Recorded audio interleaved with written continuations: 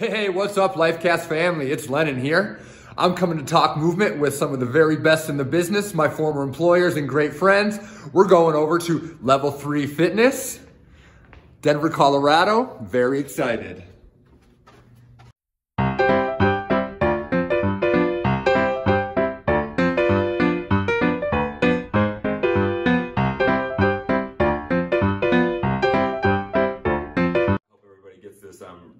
Real simple.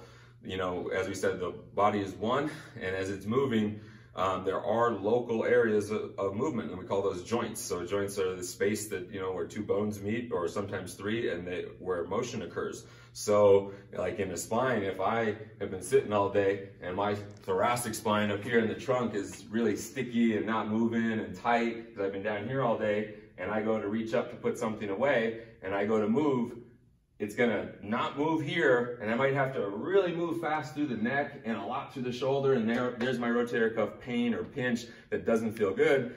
I would call the hypomobility, the lack of movement in the trunk, a big problem to the neighbor right above, gonna have to hyper move to make up for that lack of movement underneath it. So that's just a really simple strategy of we call above and below here.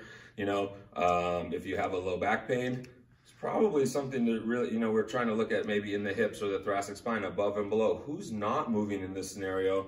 Because the thing that is moving a lot is going to end up being most likely the guy that says, I'm hurt. I don't like you.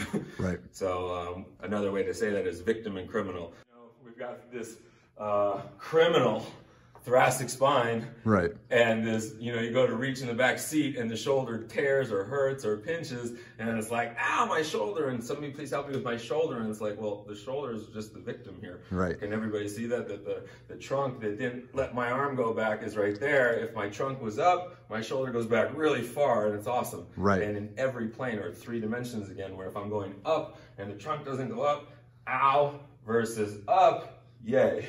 You know, right. Like there's your there's your tennis elbow, your shoulder pinches, your I mean it's hypomobility, lack of movement, really big problem.